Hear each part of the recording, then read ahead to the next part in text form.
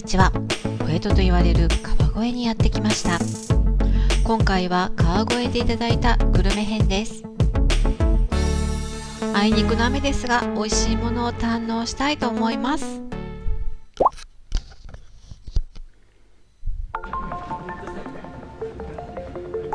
川越駅に7時半過ぎに到着しまずは朝食へ。今歩いているのは大正ロマン夢通り。洋風看板建築が軒を軒を連ねるレトロな街並みの中に目的の店があります。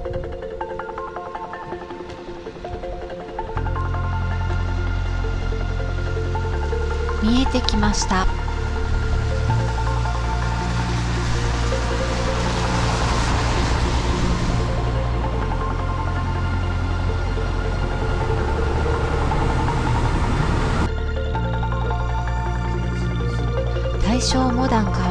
純喫茶のお店です。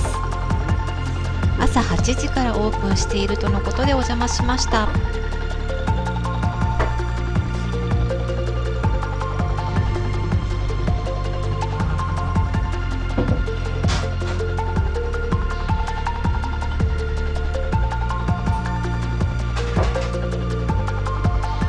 マスターと常連さんのやりとりがいい雰囲気です。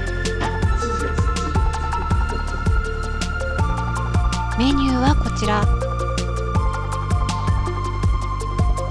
朝はお得なモーニングセットがあります。モーニングは A のトーストと B の焼きサンド。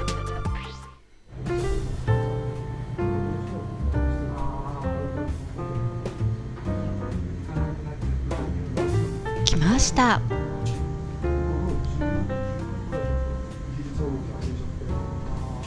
私が注文したのはモーニング B セットの焼きサンドハムチーズエッグです。他にツナレタスポテトレタスの3種類から選べます。ドリンクサラダゆで卵付きで700円です。お値打ちですね。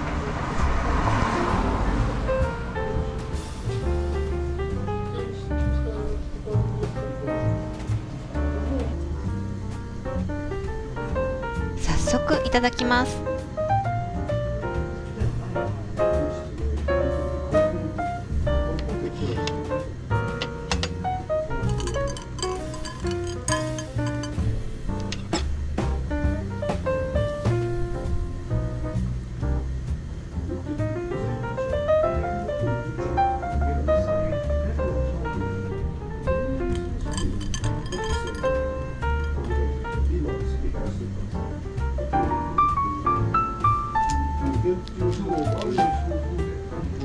いよいよホットサンドです。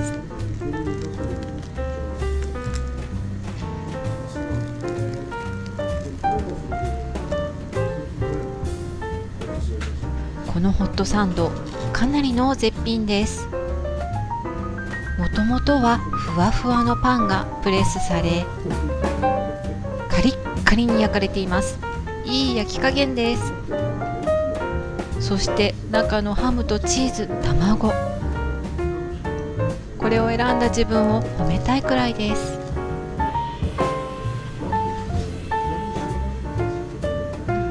さてぜひぜひ皆様にもおすすめしたいこの焼きサンド。ランチセットのメニューにもなっていてサラダスープドリンク付きで980円となっています。なんといってもランチに焼きサンドを頼むと3種味わえるそうです。お得ですね。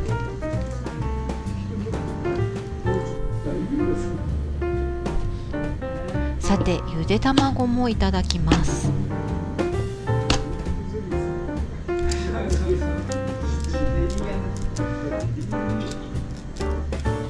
ゆで卵を塩で食べるというのはかなり久しぶりです。ひょっとしたら子供時代のお弁当の時以来かも。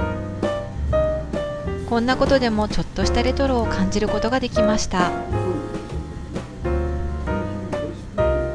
ごちそうさまでした。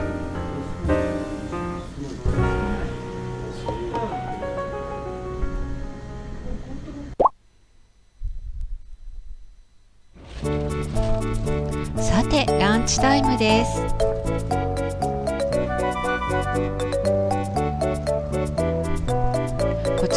双子小江戸屋というホテル1階にあるフードモール縁結び横丁の中でいただきます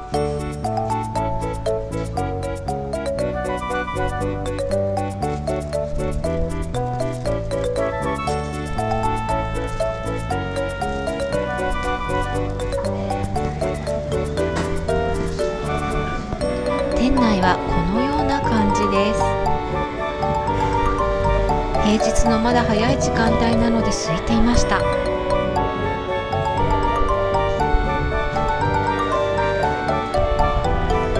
ちなみにこちらはかつて川越の芝居小屋鶴川座があった場所なのだそうです。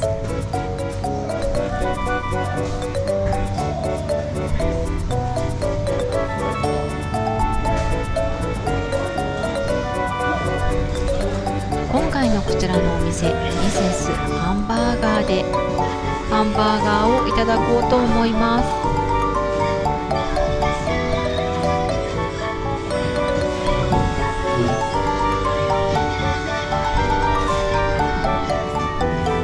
仙台和牛専門バーガーです。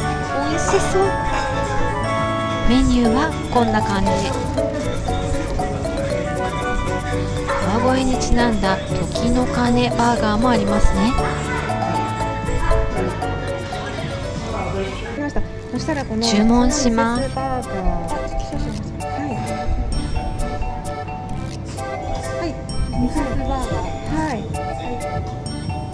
ドリンクセットで、えっとジンジャーエール。いろいろ悩んだのですがまずはノーマルのミセスバーガーを注文。1180円。ドリンクはジンジャーエール辛口200円。もつけました。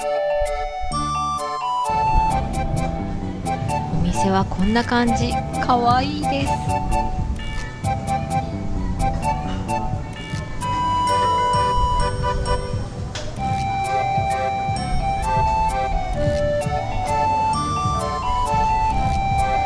ちらのお店で今注目されているのがこちらのテイクアウトのスライダーバーガー。カップに入れたポテトの上にミニバーガーがぶっ刺してあります。映えですね。かわいい。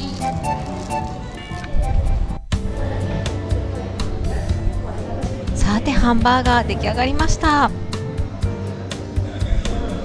ポテトは山盛り。ハンバーガーのお肉も肉肉しいです。ハンバーガーの野菜をお好みで入れてください。とのこと。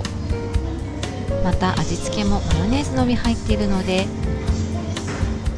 ケチャップやマスタードで味をカスタマイズします。早速マイハンバーガーを作っていきます。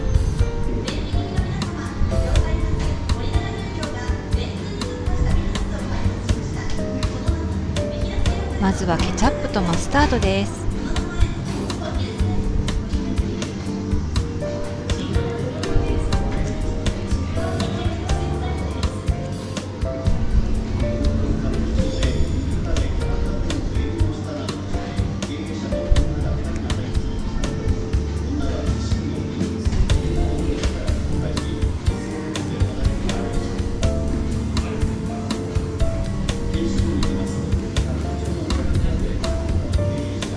して野菜をスライドさせてオン。もちろん全部のせです。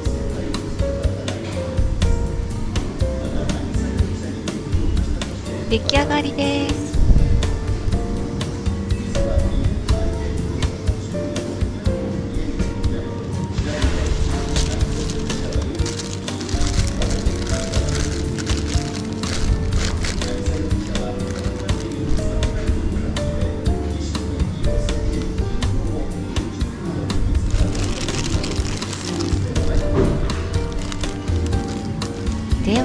ただきます。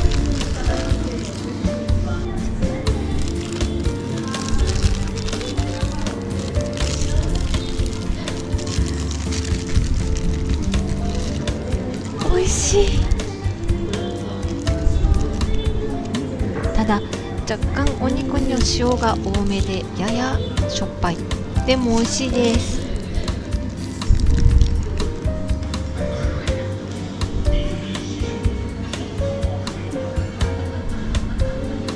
たバンズももちもちで美味しい。埼玉県産の小麦粉花満点を使用しているのだそう。こだわりを感じます。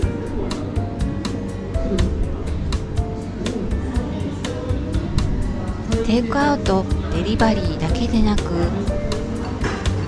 予約の対応もしているそうなので皆様もぜひ訪れてみてくださいね。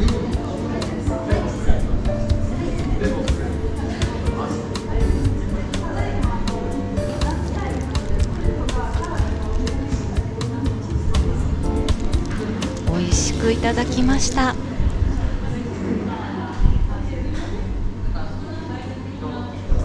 ごちそうさまでした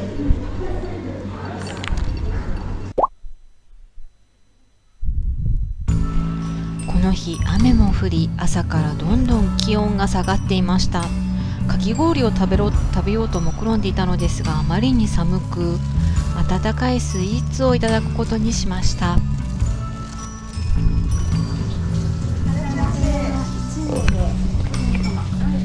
こちらは陶器のアトリエと建物を共有するカフェです。代表的なメニューはさつまいもミニ懐石。ですがランチはすでにいただいていますので温かいものがいいな。ということでお汁粉をいただくことにしました。なんとお札餅入り700円です。店内の様子です。壁に連続テレビ小説「翼」のポスターがあります。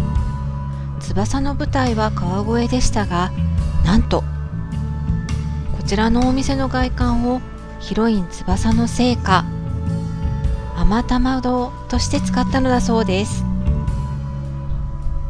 というのもこちらは川越大火後の明治26年に建てられ現存する芋屋形式の土蔵造りとしては日本で最大級の規模なのだそうです。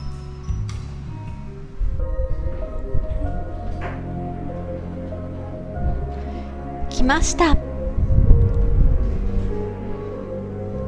蓋を開ける瞬間はワクワクします。美味しそう。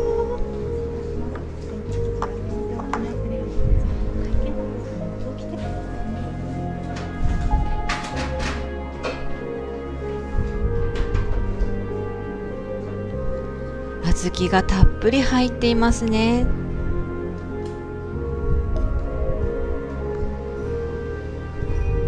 こちらはお札餅やや黄色みがかっていて形も餅というより芋って感じです。早速いただいてみます。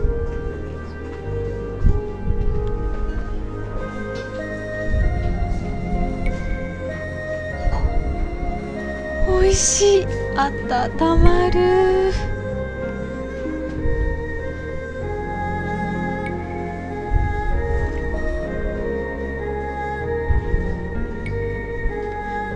うん芋でもあるし餅でもある。という感じ。しっかりさつまいもの甘さを感じます。このお餅焼いて食べても美味しいかも。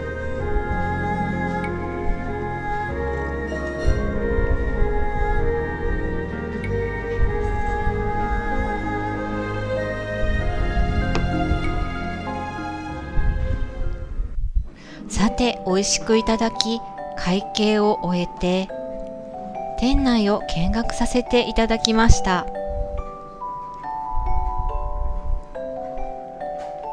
こちらでは地元陶芸作家の作品の販売だけでなく陶芸教室も行っているのだそうです。雰囲気も十分堪能させていただきました。さて川越グルメ編いかがでしたでしょうか？最後までご視聴いただきありがとうございました散策編もぜひ合わせてご覧ください。